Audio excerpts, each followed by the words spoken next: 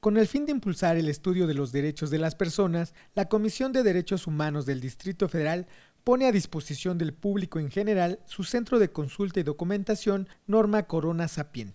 La biblioteca concentra un amplio acervo bibliográfico, documental, hemerográfico y videográfico.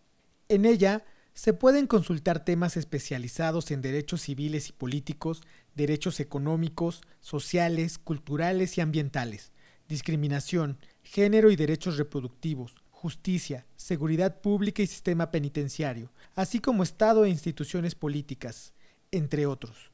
El Centro de Consulta y Documentación cuenta con espacios adecuados para niñas, niños, jóvenes y personas adultas para la consulta pública de su material. Todos sus servicios son gratuitos. Se ubica en Avenida Universidad 1449, Colonia Florida, y su horario de atención es de lunes a viernes de 9 a 18 horas. Con información de Luis Alberto Linares Cubillas, para DH Noticias, Gabriel Pérez.